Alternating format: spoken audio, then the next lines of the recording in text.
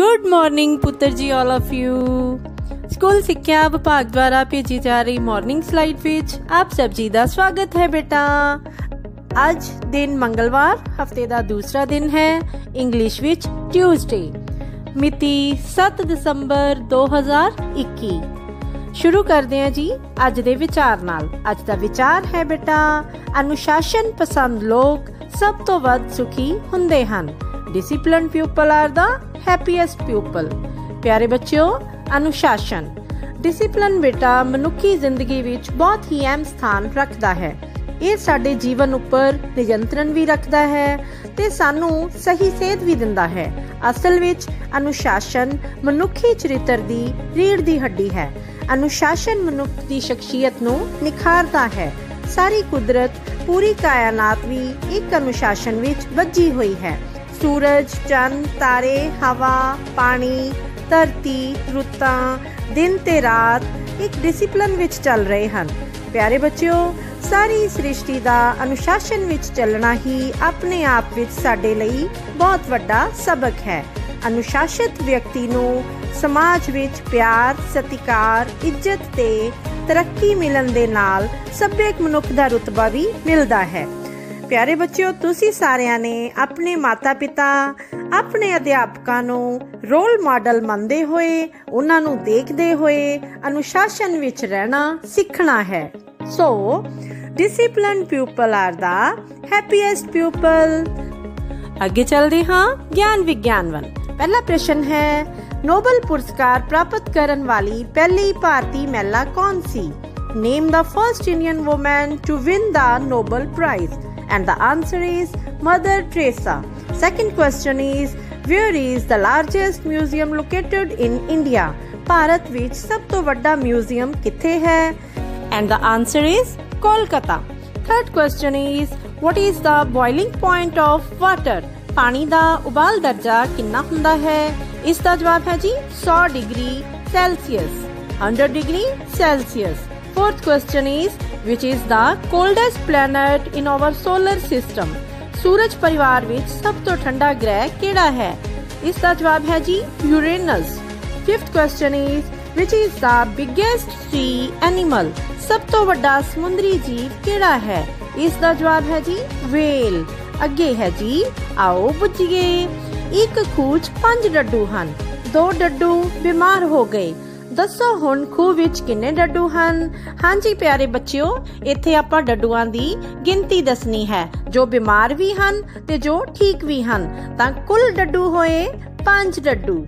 Last words for practice our first word is keep K double E P keep keep ਮਤਲਬ ਰੱਖਣਾ second word is ਬੇਟਾ deep D double E P deep deep ਮਤਲਬ ਡੂੰਗਾ third word is jeep J double E P jeep jeep मतलब jeep fourth word is बेटा weep W double E P weep weep मतलब रोना fifth and last word is beep B double E P beep beep मतलब beep या ਇੱਕ ਛੋਟੀ ਜਹੀ ਧੁਨ ਹਾਂਜੀ ਪਿਆਰੇ ਬੱਚਿਓ ਅੱਜ ਲਈ ਇੰਨਾ ਹੀ ਮੈਂ ਤੁਹਾਡੀ ਆਪਣੀ Rupinderjit Kaur ETT teacher government primary smart school Babala Singh district Barnala ਤੋਂ ਦਿਓ ਇਜਾਜ਼ਤ, ਮਿਲਦੇ ਹਾਂ ਕੱਲ ਫੇਰ ਨਵੀਂ ਸਲਾਈਡ ਨਾਲ, ਨਵੀਂ એનર્ਜੀ ਨਾਲ। Take care all of you and have a nice day hello kids good morning welcome to all of you in morning session ਪਿਆਰੇ ਬੱਚਿਓ ਤੁਹਾਡੀ ਪਹਿਲੀ ਟਰਮ ਦੀ ਪ੍ਰੀਖਿਆ ਸ਼ੁਰੂ ਹੋਣ ਜਾ ਰਹੀ ਹੈ ਅੱਜ ਤੁਹਾਡਾ ਪਹਿਲਾ ਪੇਪਰ ਹੈ ਸੋ ਸਾਰੇ ਹੀ ਬੱਚਿਆਂ ਨੂੰ all the best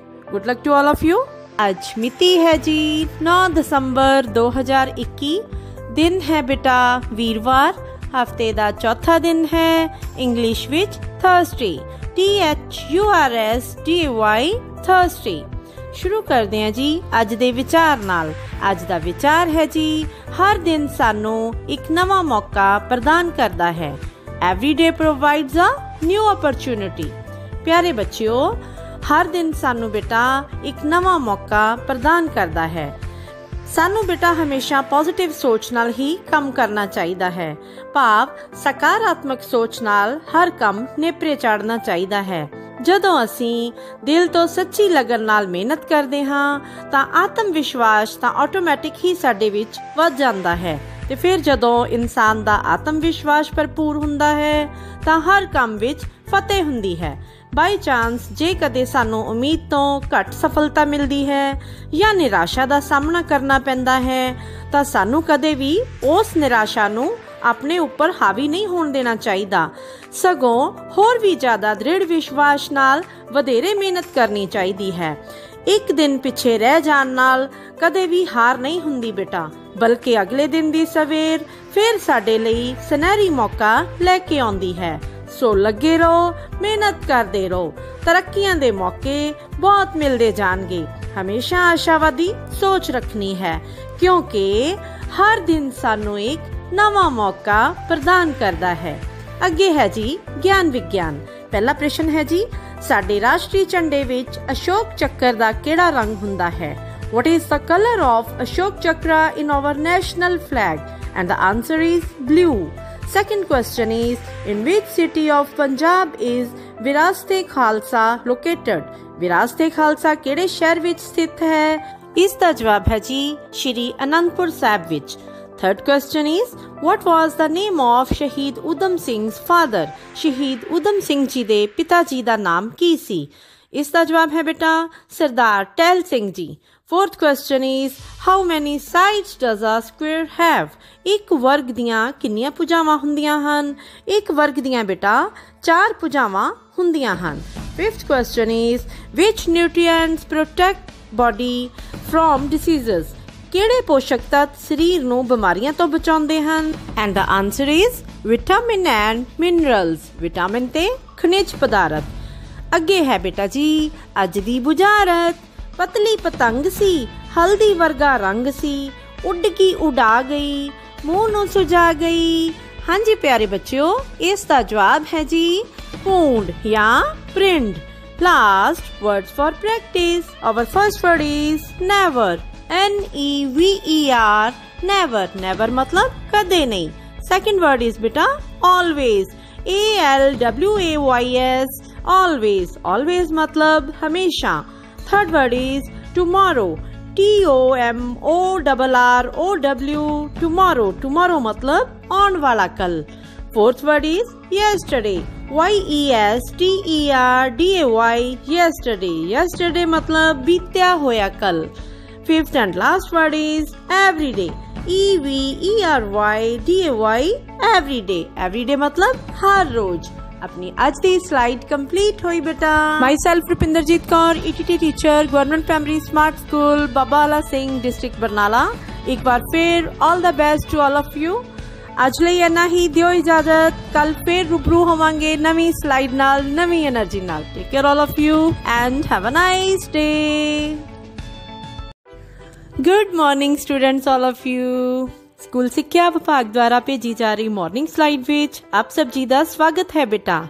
ਅੱਜ ਮਿਤੀ ਹੈ ਜੀ 10 ਦਸੰਬਰ 2021 ਦਿਨ ਹੈ ਬੇਟਾ ਸ਼ੁੱਕਰਵਾਰ, ਹਫ਼ਤੇ ਦਾ ਪੰਜਵਾਂ ਦਿਨ ਹੈ ਇੰਗਲਿਸ਼ ਵਿੱਚ ਫਰਾਈਡੇ ਮੈਂ ਤੁਹਾਡੀ ਆਪਣੀ Rupinderjeet Kaur ETT teacher government primary school Baba Ala Singh district Barnala. ਹਾਜ਼ਰ ਹਾਂ ਪੁੱਤਰ ਜੀ ਹਮੇਸ਼ਾ ਵਾਂਗ ਅੱਜ ਦੀ ਮਾਰਨਿੰਗ ਸਲਾਈਡ ਲੈ ਕੇ। ਸ਼ੁਰੂ ਕਰਦੇ ਹਾਂ ਜੀ ਅੱਜ ਦੇ ਵਿਚਾਰ ਨਾਲ। ਅੱਜ ਦਾ ਵਿਚਾਰ ਹੈ ਬੇਟਾ, ਮਿਹਨਤ ਸਫਲਤਾ ਦੀ ਬੁਨਿਆਦੀ ਕੁੰਜੀ ਹੈ। Hard work is the fundamental key to success ਪਿਆਰੇ ਬੱਚਿਓ, ਮਿਹਨਤ ਸਫਲਤਾ ਦੀ ਬੁਨਿਆਦੀ ਕੁੰਜੀ ਹੈ। ਹਰੇਕ ਮਨੁੱਖ ਜੀਵਨ ਵਿੱਚ ਸਫਲਤਾ ਪ੍ਰਾਪਤ ਕਰਨੀ ਚਾਹੁੰਦਾ ਹੈ। ਪਰੰਤੂ ਜ਼ਿੰਦਗੀ ਇੱਕ ਸੰਘਰਸ਼ ਹੈ ਤੇ ਜ਼ਿੰਦਗੀ ਵਿੱਚ ਕਾਮਯਾਬ ਹੋਣ ਲਈ ਮਿਹਨਤ ਕਰਨੀ ਪੈਂਦੀ ਹੈ। ਸੱਚੀ ਤੇ ਇਮਾਨਦਾਰੀ ਨਾਲ ਕੀਤੀ ਮਿਹਨਤ ਆਪਣਾ ਰੰਗ ਜ਼ਰੂਰ ਦਿਖਾਉਂਦੀ ਹੈ। ਸਾਨੂੰ ਇਹ ਕਦੇ ਵੀ ਨਹੀਂ ਸੋਚਣਾ ਚਾਹੀਦਾ ਕਿ ਮੈਨੂੰ ਮੇਰੀ ਮਿਹਨਤ ਦਾ ਫਲ ਕਦੋਂ ਮਿਲੇਗਾ। ਸਗੋਂ ਲਗਾਤਾਰ ਮਿਹਨਤ ਕਰਦੇ ਰਹਿਣਾ ਚਾਹੀਦਾ ਹੈ। ਸਫਲਤਾ ਅਸਫਲਤਾ ਵਿੱਚੋਂ ਹੀ ਉਪਜਦੀ ਹੈ। ਅਸਫਲਤਾ ਸਾਨੂੰ ਤਜਰਬੇ ਦਿੰਦੀ ਹੈ ਤੇ ਤਜਰਬੇ ਬੇਟਾ ਸਾਨੂੰ ਸਫਲ ਵਿਅਕਤੀ ਬਣਾਉਂਦੇ ਹਨ।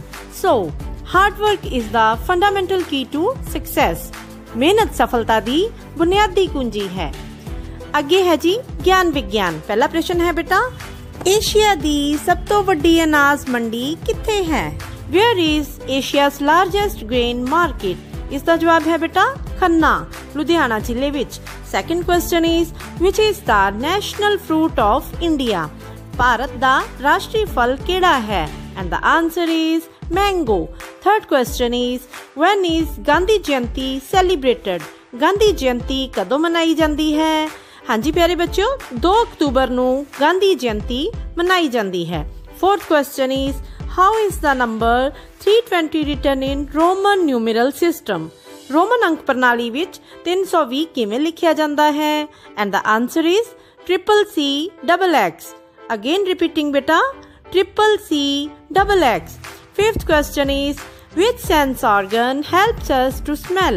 ਕਿਹੜੀ ਗਿਆਨ ਇੰਦਰੀ ਸਾਡੀ ਸੁੰਘਣ ਵਿੱਚ ਮਦਦ ਕਰਦੀ ਹੈ? And the answer is nose. ਸਾਡਾ ਨੱਕ। ਅੱਗੇ ਹੈ ਪਿਆਰੇ ਬੱਚਿਓ, ਆਓ ਬੁੱਝੀਏ ਹਰੀ ਸੀ, ਮਨ ਭਰੀ ਸੀ, ਮੋਤੀਆਂ ਨਾਲ ਜੜੀ ਸੀ ਲਾਲਾ ਜੀ ਦੇ ਬਾਗ 'ਚ ਦੁਸ਼ਾਲਾ ਲੈ ਕੇ ਖੜੀ ਸੀ ਹਾਂਜੀ ਪਿਆਰੇ ਬੱਚਿਓ, ਇਸ ਦਾ ਜਵਾਬ ਹੈ ਜੀ ਛੱਲੀ last words for practice our first word is grandfather g r a n d grand f a t h e r father grandfather grandfather मतलब दादाजी second word is beta grandmother g r a n d grand m o t h e r mother grandmother मतलब दादी जी third word is aunt a u n t aunt aunt ਮਤਲਬ mostly ਅਸੀਂ aunty ਕਹਿੰਦੇ ਹਾਂ। ਪਰੰਤੂ ਪਿਆਰੇ ਬੱਚਿਓ, ਮਾਸੀ ਜੀ, ਚਾਚੀ ਜੀ, ਭੂਆ ਜੀ, ਮਾਮੀ ਜੀ ਆਦਿ ਰਿਸ਼ਤਿਆਂ ਲਈ ਆਂਟ ਸ਼ਬਦ ਯੂਜ਼ ਕੀਤਾ ਜਾਂਦਾ ਹੈ। Fourth word is parents P A R E N T S parents parents ਮਤਲਬ ਮਾਪੇ, ਸਾਡੇ ਮਾਤਾ ਪਿਤਾ fifth and last word is family F A M I L Y family family ਮਤਲਬ ਪਰਿਵਾਰ। ਆਪਣੀ ਅੱਜ ਦੀ ਸਲਾਈਡ ਕੰਪਲੀਟ ਹੋਈ ਬੇਟਾ ਅੱਜ ਲਈ ਇੰਨਾ ਹੀ ਖੁਸ਼ ਰਿਹਾ ਕਰੋ ਵੱਡਿਆਂ ਦਾ ਸਤਿਕਾਰ ਕਰਿਆ ਕਰੋ ਛੋਟਿਆਂ ਨੂੰ ਪਿਆਰ ਕਰਿਆ ਕਰੋ ਓਕੇ ਪੁੱਤਰ ਜੀ take care all of you and have a blessed day